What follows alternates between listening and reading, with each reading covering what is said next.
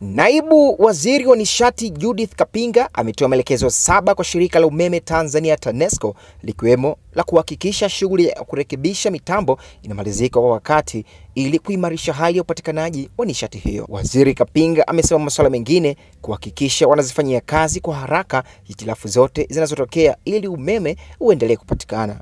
Ametoa maelekezo hayo leo Jumatatu Oktoba 2 ya mwaka 2023 alipotembelea kituo cha kuzalisha umeme na wa megawati 43 unaotokana na gesi asilia cha Tegeta wilayani Kinondoni, akisema hali ya uzalishaji wa umeme katika kituo hicho unaendelea vema. Nikimnukuu akisema, pamoja na kuja na kukagua kituo hiki nimewaelekeza TANESCO kuendelea kuboresha huduma kwa wateja wa Tanzania wanaopata changamoto ndogo ndogo za umeme ikiwemo hitilafu, wahakikishe wanazitatua kwa wakati.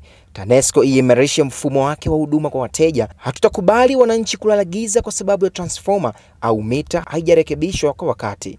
Waimarishe mifumo yao na kufuatilia kwa ukaribu kuhakikisha wateja wanapata huduma bora. Mbali na hilo, Kapinga amelitaka TANESCO kuunganisha huduma ya umeme maeneo yenye miundombinu kwa wakati ili Watanzania wafurahie huduma ya upatikanaji wa nishati hiyo. Anaendelea kusema tunaendelea kusimamia kwa wakati ikiwemo kuhakikisha huduma ya upatikanaji umeme inaendelea kuimarika. Umeme urudishwe kwa wakati, watu wanaendelea na shughuli mbalimbali za kiuchumi. TANESCO ikae na watu wa maeneo ya uzalishaji na kukubaliana muda sahihi wa kukata na kurejesha umeme.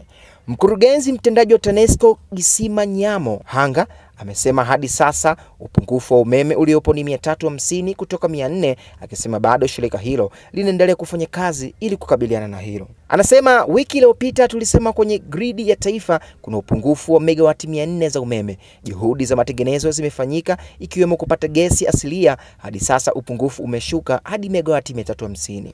Hii ni Ngasa Online TV. Tafadhali usiache kusubscribe ili kuweza kupata habari nyingine nyingi, lakini pia kutufuatilia kwenye kurasa zetu za Instagram ambazo tunatumia kama Ngasa TV Dodoma, lakini pia Bosi Ngasa Dodoma. Mimi naitwa Rami Ramsey.